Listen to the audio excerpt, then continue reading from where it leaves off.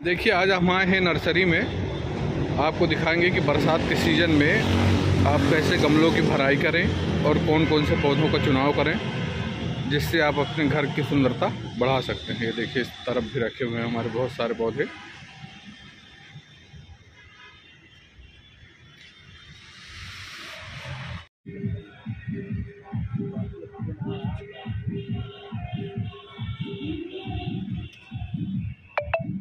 में पौधे लगा रही हैं?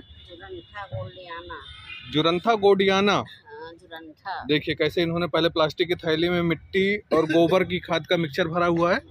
उसके बाद देखिए ये लोग ये लगा रही हैं पूरे पौधे। इसके टुकड़े लग जाते हैं? हाँ टुकड़े लगाए जाते अच्छा देखिए इसके टुकड़े लगा रहे हैं। तो देखिए इन्होंने सब पूरा ये हाथ से ही फिल किया हुआ है। एक सामने ऊपर वाले में लगा के दिखा दीजिए।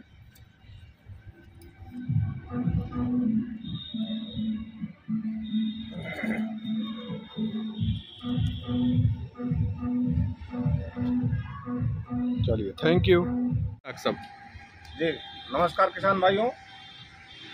देखिए ये आप जब मकान बनवाते हैं तो मकान बनवाने के बाद लोग अब गमला रखना भी जो है बड़ा पसंद करते हैं। जी। और गमला रखने के लिए आपको कौन कौन से पौधों की पहचान होना चाहिए और किस मौसम का रखा जाए तो ज़्यादा बेहतर होता है।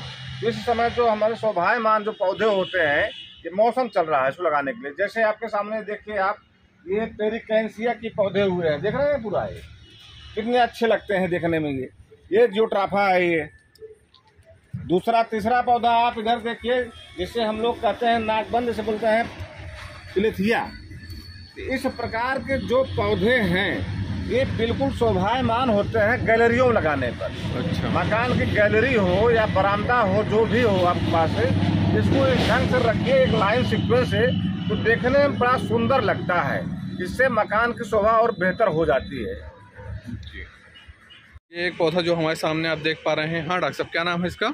इस पौधे का नाम है सिंगोनियम। सिंगोनिया और ये बड़ा अच्छा पौधा देखने लगता है क्योंकि इसकी पत्ती देखिए बिल्कुल चौड़ी और चित्तीदार रूप में आ जाती है। जी।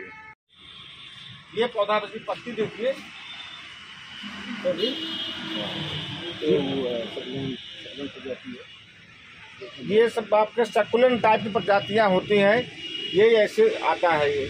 इस इस पौधे को हम लोग कहते हैं नागबंद अच्छा। हाँ इसका गाँव में एक असर भी होता है कि इस पौधों को जहाँ लगा दीजिए लोग कहते हैं नाग देवता नहीं आते हैं।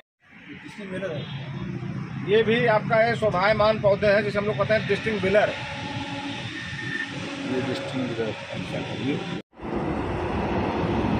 डॉक्टर साहब ये हमारे सामने एक ये जो रेड कलर का फूल वाला पौधा ये कौन सा पौधा है? ये हमारा जो ट्राफा पौधा है ये। अच्छा इसके जी और इसके साइड में एक ये रखा गया है ये कौन सा पौधा है? ये हमारा बिल्कुल आप देख रहे हैं ये इसे हम बोलते हैं अगेव पौधा। ठीक है? अगेव है ये। और आप इसकी पत्तियाँ जैसे ये है जी। ये ऐसे बारह महीने बनी रहेंगी आप। ऐसे सेम हरा भरा बना रहता है पूरा गमला आपका पूरा हरा।